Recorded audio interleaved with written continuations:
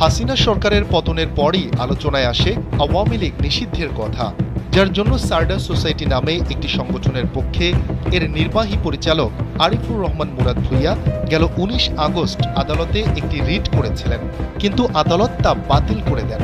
আইন, বিচার ও সংসদ বিষয়ক উপদেষ্টা আসিফ নজরুল বলেছিলেন, রাজনৈতিক দল হিসেবে আওয়ামী লীগকে নিষিদ্ধ করা সমীচীন হবে না। শেখ হাসিনা বলেছিল শেখ হাসিনা পালায় না বাংলাদেশের মানুষ জবাব দিক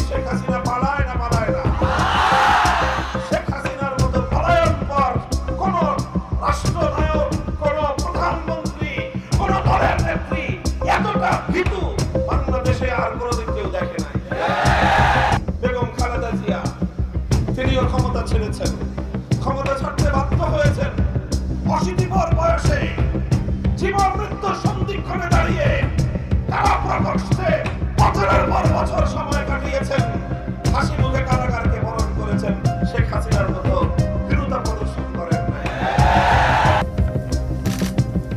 গত কয়েকদিনে জাতিসংঘ সাধারণ পরিষদের উনাশিতম অধিবেশনের সাইডলাইনে আন্তর্জাতিক মুদ্রা তহবিল আইএমএফ, জাতিসংঘের মহাসচিব সহ গুরুত্বপূর্ণ সব সংস্থা আর ব্যক্তিবর্গের সঙ্গে বৈঠক করেন বাংলাদেশের অন্তর্বর্তীকালীন সরকারের প্রধান উপদেষ্টা অধ্যাপক ডক্টর মোহাম্মদ ইউনুস। এই সময় নতুন বাংলাদেশকে প্রয়োজনীয় সংস্কার উদ্যোগে সহায়তার প্রতিশ্রুতি দেন তারা।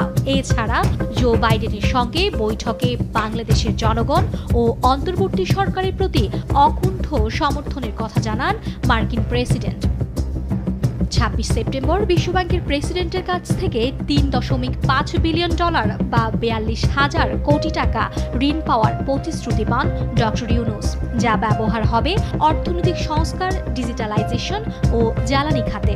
একই দিন, জাতিসংঘ মহাসচিব অ্যান্টনিও গুতেরেস বাংলাদেশের অন্তর্বর্তী সরকারের প্রতি পূর্ণ সমর্থন জানিয়ে বাংলাদেশের সংস্কারে সাহায্যের জন্য জাতিসংঘের প্রস্তুত থাকার কথা জানান। আঞ্চলিক ভূরাজনীতির কঠিন বাস্তবতার মুখোমুখি ভারত। মণিপুরের সহিংসতা, রাহুল গান্ধীর যুক্তরাষ্ট্র সফর ও হাসিনা সরকারের পতন, সব মিলিয়ে এক নজিরবিহীন চাপের মোকাবিলা করছে নরেন্দ্র মোদীর সরকার।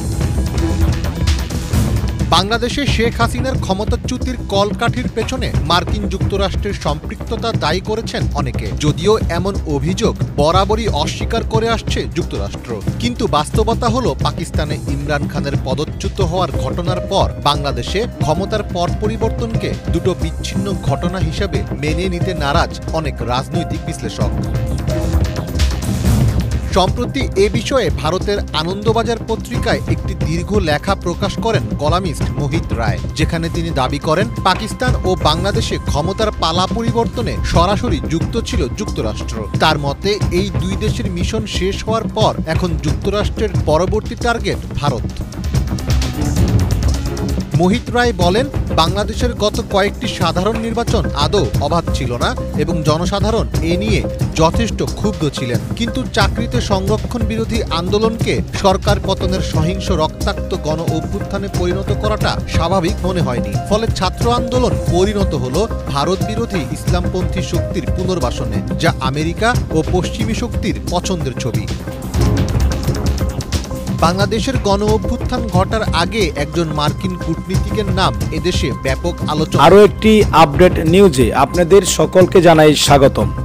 দর্শক, পাঁচ তারিখ আওয়ামী লীগ পতনের পর এবার সারা জীবনের জন্য আওয়ামী লীগ নিষিদ্ধ হতে যাচ্ছে। দর্শক, কীভাবে আওয়ামী লীগ নিষিদ্ধ হতে পারে সম্পূর্ণ তথ্য রয়েছে আজকের এই ভিডিওতে। আওয়ামী লীগ তার নিজের দলের উপরেই নিজে প্রতিশোধ নিয়েছেন সেই মাফিয়া সরকার শেখ হাসিনা। শেখ হাসিনার চেয়েও ভীতু রাজনীতিক আর কেউ করেনি। দর্শক খালেদা জিয়া জেল কেটেছে, কিন্তু সেই খালেদা জিয়া কখনো দেশ ছেড়ে পালায়নি, তার দল থেকে পালিয়ে যায়নি। তার দলের নেতাকর্মীদেরকে আগলিয়ে রেখেছে। তা এমনই কিছু মন্তব্য করেছেন মামুনুল হক। সেই মামুনুল হক হুজুরের মন্তব্যগুলো শুনলে আপনার গায়ের পশম দাঁড়িয়ে যাবে। খুবই চাঞ্চল্যকর তথ্য রয়েছে আজকের এই ভিডিওতে।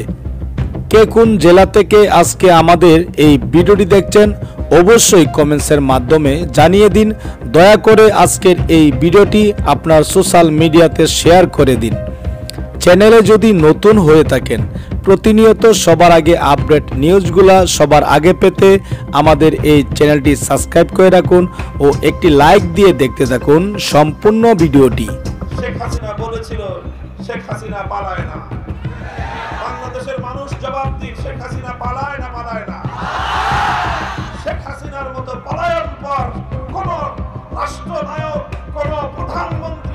কোন দলের নেত্রী এতটা বাংলাদেশে আর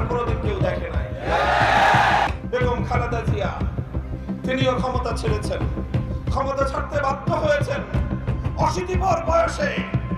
জীবন মৃত্যু সন্ধিক্ষণে দাঁড়িয়ে তারা প্রকোষ্ঠে বছরের পর বছর সময় কাটিয়েছেন। হাসি মুখে কারাগারকে বরণ করেছেন শেখ হাসিনার মতো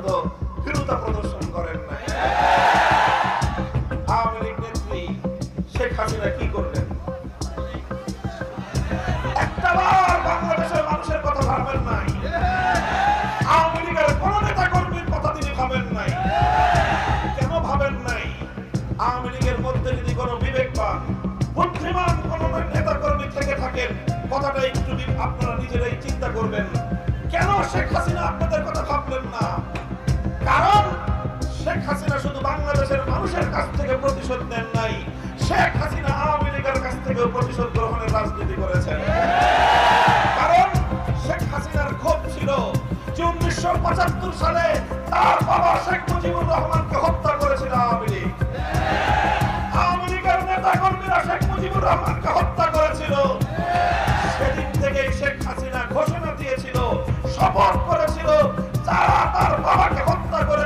তাদের কাছ থেকে তিনি প্রতিশোধ গ্রহণ করে ছাড়বেন।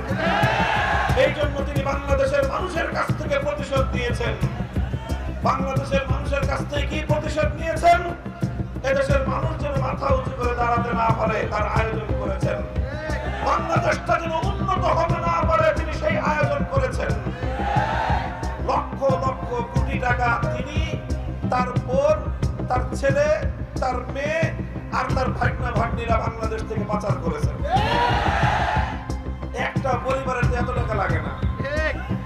কেন এত টাকা চুরি করব? আমি ভেবে দেখেছি যে কেন করব? আসলে টাকার প্রয়োজনে শুধু চুরি করে নাই, করছে যাতে এই বাংলাদেশের অর্থনীতির ভিত ধসে যায়। এদেশটা যেন বিশ্ব দরবারে মাথা উঁচু করে দাঁড়াতে না পারে। এদেশটাকে একটা তলাবিহীন ঝুড়িতে পরিণত করবার তার সেই প্রতিশোধ পরায়ণতার বহিঃপ্রকাশ তিনি ঘটিয়েছেন এর মাধ্যমে। তিনি স্বাধীন বাংলাদেশ দেখতে চান নাই। তিনি চেয়েছিলেন বাংলাদেশের বুকের উপর দিয়ে আরেকটি দেশকে বিনামূল্যে ট্রানজিট প্রদান করতে। তিনি বাংলাদেশকে চেয়েছিলেন আরেকটা দেশের অঙ্গরাজ্য বানিয়ে নিজে মুখ্যমন্ত্রী হতে। এই হলো দেশের বিরুদ্ধে, জনগণের বিরুদ্ধে তার প্রতিশোধ। আর আওয়ামী লীগের বিরুদ্ধে তার প্রতিশোধ তিনি বলেছিলেন উনিশশো পঁচাত্তরের পনেরোই আগস্ট আমার বাবার লাশটা ওই বত্রিশ নম্বরে পড়ে থাকল দিনের পর দিন। এত বড় দল, হাজার হাজার লক্ষ লক্ষ যার নেতা কর্মী আওয়ামী লীগের কেউ তো সেদিন এগিয়ে আসলো না। যার জন্য সার্ডাস সোসাইটি নামে একটি সংগঠনের পক্ষে এর নির্বাহী পরিচালক আরিফুর রহমান মুরাদ ভুইয়া গেল উনিশ আগস্ট আদালতে একটি রিট করেছিলেন। কিন্তু আদালত তা বাতিল করে দেন। আইন, বিচার ও সংসদ বিষয়ক উপদেষ্টা আসিফ নজরুল বলেছিলেন, রাজনৈতিক দল হিসেবে আওয়ামী লীগকে নিষিদ্ধ করা সমীচীন হবে না। গেল বৃহস্পতিবার বিষয়টি নিয়ে সাংবাদিক খালিদ মহিউদ্দিনের সঙ্গে কথা বলেন অন্তর্বর্তীকালীন সরকারের তথ্য ও সম্প্রচার উপদেষ্টা মোহাম্মদ নাহিদ ইসলাম। এক প্রশ্নের জবাবে নাহিদ বলেন আওয়ামী লীগ, ফ্যাসিজম ও গণহত্যার সঙ্গে জড়িত। তার বিচার কার্যক্রম এখনও চলছে। দল হিসেবে তাদের রাজনীতি করার অধিকার নেই।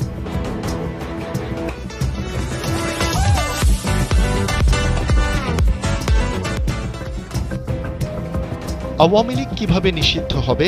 এমন প্রশ্নের জবাবে নাহিদ জানান, সরকারের জায়গা থেকে আমরা একভাবে সিদ্ধান্ত নিতে চাই না। এসব জাতীয় বিষয়ে সিদ্ধান্ত নেয়ার আগে অন্যান্য রাজনৈতিক দলগুলোর এ বিষয়ে মতামত নিয়ে সিদ্ধান্ত নেওয়া হবে। সব রাজনৈতিক দলগুলোর ঐক্যমত্য হলেই আওয়ামী লীগের রাজনীতি নিষিদ্ধ করা হবে বলে জানান তিনি। বাংলাদেশের সাম্প্রতিক ছাত্র জনতা আন্দোলনের মাস্টারমাইন্ড হিসেবে বিশ্বমঞ্চে মাহফুজ আলমকে পরিচয় করিয়ে দিয়েছেন। অন্তর্বর্তীকালীন সরকারের প্রধান উপদেষ্টা অধ্যাপক ড মোহাম্মদ ইউনুস। মাস্টারমাইন্ড নিয়ে করা এক প্রশ্নের জবাবে নাহিদ জানান, বৈষম্য বিরোধী ছাত্র আন্দোলন এটি সাধারণ শিক্ষার্থীদের জায়গা। এখানে বিভিন্ন রাজনৈতিক নেতারাও উপস্থিত ছিলেন। এই আন্দোলনে একক কোনো নেতৃত্ব ছিল না। সাধারণ মানুষ এটাকে এগিয়ে নিয়ে গেছে। একটা সময় আন্দোলন পরিচালনা করতে অনেকেই বুদ্ধি পরামর্শ দিয়েছেন। এক্ষেত্রে যার কথা বলা হয়েছে, তিনি বিশেষভাবে আমাদের পরামর্শ দিয়েছিলেন।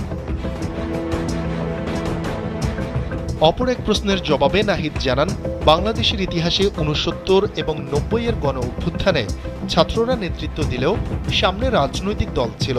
আন্দোলনের পর তারা ক্ষমতা নেয়। এবারের আন্দোলনে কোনো রাজনৈতিক দল সামনে ছিল না।